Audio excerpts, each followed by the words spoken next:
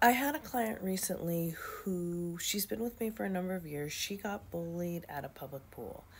Um, and she actually handled it really well. She got the authorities involved in everything. Um, but she's nervous about going back to the pool and seeing the two women that bullied her. One of them hit her, quote, on accident.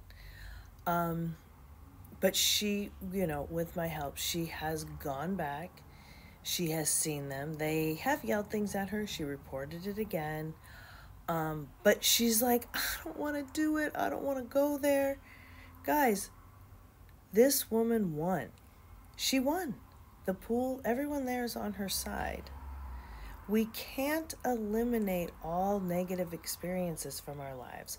We're not going to get rid of all the people that don't like us and we don't like. The best we can do is learn how to respond.